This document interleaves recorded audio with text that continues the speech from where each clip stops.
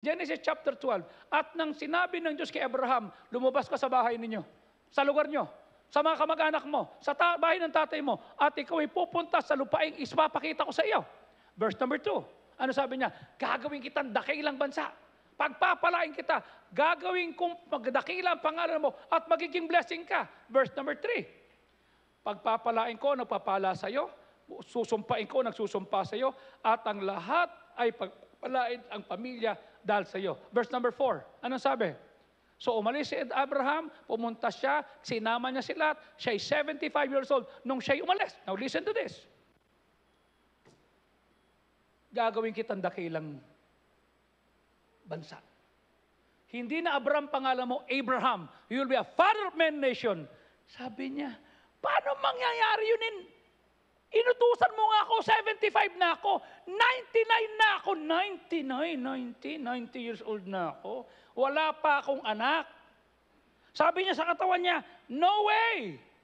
Pag tinig niya si Sarah, oh, ilang minupos na to? Hindi mangyayari. Anong ginawa ni Abraham? Nangialam. Anong ginawa ni Sarah? Nangialam. Genesis 16.1, anong sabi? At nung si Sarah, anak na asawa ni Abraham, nang wala siyang anak, sabi niya, Abraham, doon lang katulong namin. Maganda naman to. Taga-Egypt pa to. Pangalan niya si Hagar. Verse 2, sabi ni Sarah kay Abraham, o narito na, hindi naman ako pinahintulutan ng Diyos ng mga anak eh. Oh, sige na, pinapahintulutan na kita. Pumunta ka sa katulong ko, siya magbibigay ng anak sa atin. Okay? At nakinig itong si Abraham. Listen to this ha. Don't get nervous. Don't fret. Huwag kang magmamadali. Don't take to take matters to your own hands. Okay? Nangialam to mag-asawa. Okay? Nakinig. Verse number 3. At si Sarah, anak asawa ni Abraham, kinuha si Hagar, dinla sa bahay niya, pinatira ng sampung taon, at ibinigay niya ang kanyang asawa kay Hagar may pahintulot. Verse number 4. At nung siya'y pumasok kay Hagar, sila'y nagsiping, siya'y naglihi. At siya'y magkakaroon na ng baby.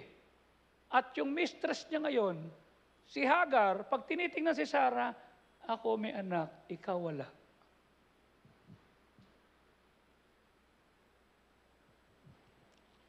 Verse number 5. Ano sabi? Sabi ni Sarah kay Abraham, inaapi na ako. Binigay ko sa iyo yung katulong ko. At nung mabuntis siya, nilalapastangan niya ako. Ang Panginoon ang humatol sa akin at sa iyo.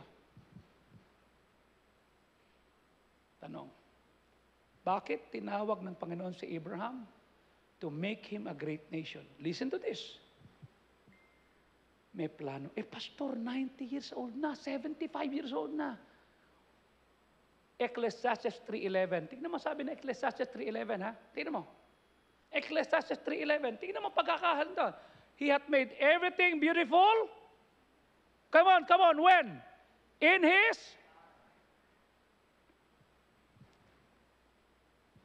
may oras ang Diyos. Nangialam si Abraham, nangialam si Sarah. Ngayon, yung kanilang pinakialaman, ninahamak na. Ano nangyari sa verse 16 ng Genesis 16:15? Okay? At si Abraham, at si Hagar ay nanganak at binigyan ng anak ng pangalan ay Ishmael.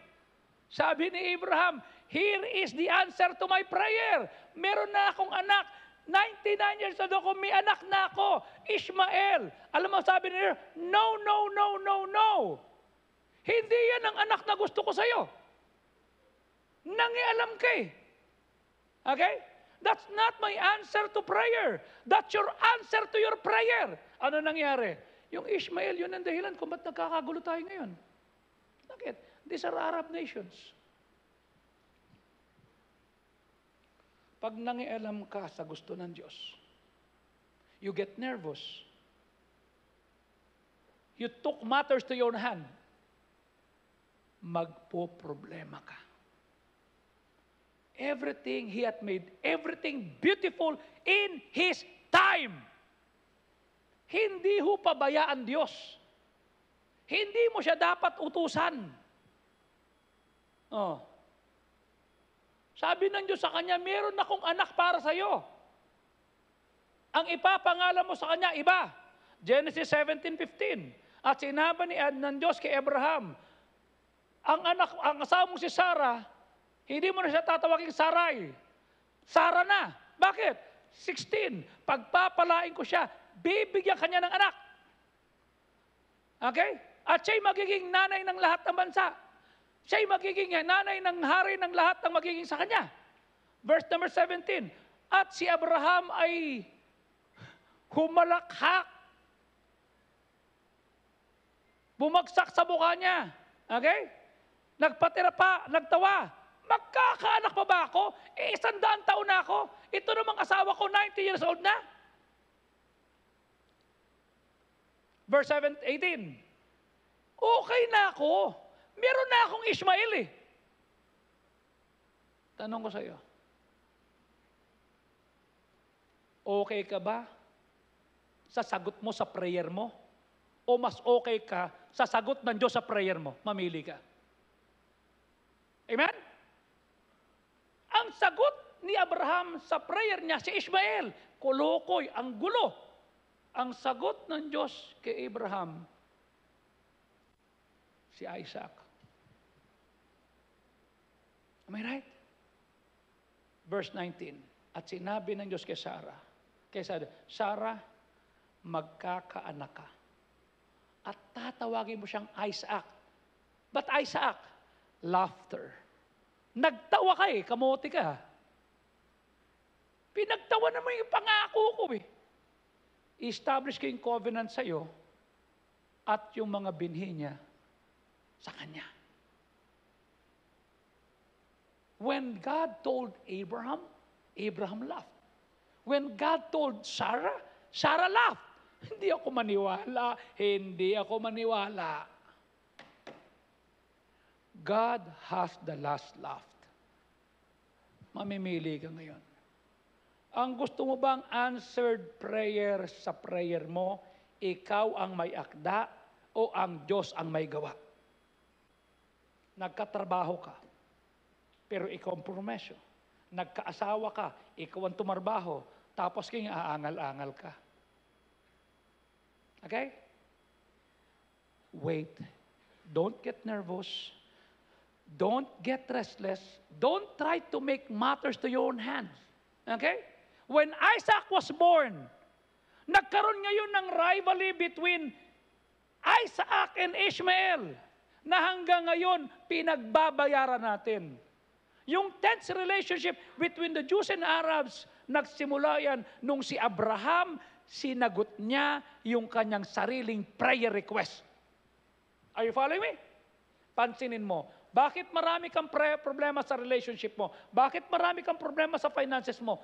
Sagot yan sa prayer request mo. Nangialam tayo eh. Huwag tayong mangingialam. Whenever you try to answer your own prayer, you're asking for trouble. Hayaan mong ang Diyos ang sumagot sa prayer mo. Hayaan mo ang Diyos ang magdala ng kasagutan sa prayer mo. Hayaan mo ang Diyos ang mag-promote sa iyo. Okay? Wait patiently. Watch God act.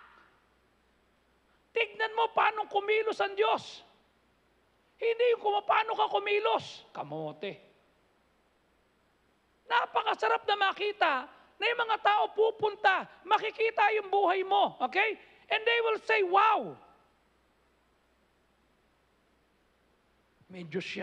Bakit? Bakit? Sa trabaho mo, sa bahay mo, sa community ka sa karatira, alam nila yung buhay mo. Alam nila kung nasan ka. Alam nila kung paano ko kumilos. Alam nila kung paano ko magtrabaho. Alam nila, underdog ka. Hindi ka matalino. Hindi ka kasing smart nila. Hindi ka kasing galing nila. Wala kang skills na meron sila. Wala kang talent as much as they have. Yet somehow, dahil natuto kang magintay sa Diyos, natuto kang magpray, natuto kang humingi, the power of the Almighty marks your life. Pag tinitignan ba ng tao buhay mo, ang nakikita ba kamay ng Diyos o ikaw? Madiskarte kasi yan. Mag, no! Kanya pag nasa trabaho ka, nasa negosyo ka, nasa school ka, you don't shrink back in fear and insecurity. May Diyos ako, gagalingan ko. Iwanan mo ako, fine, pero hindi ang Diyos ko. Sabi ko kanina sa mga pastor, mawawala pera mo, mawawala member mo. Isa lang ang dapat mo makita, hindi dapat mawala ang, ang marka ng Diyos sa'yo. Okay? I have been there. I know what it means. Ang hinabol ko ang Diyos. Hindi tao, hindi pera ang Diyos.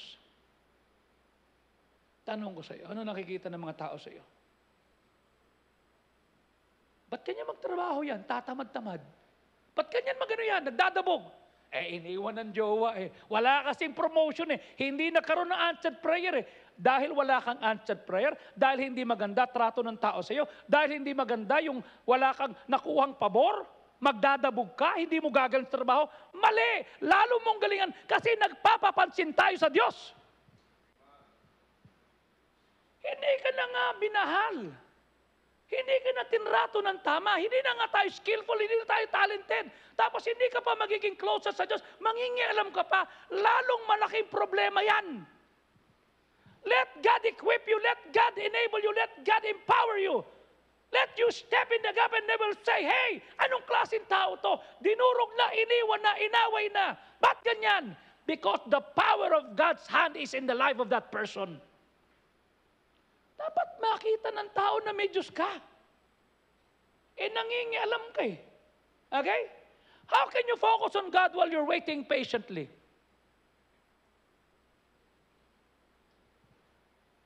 Babalik ka lang sa mga pangako niya.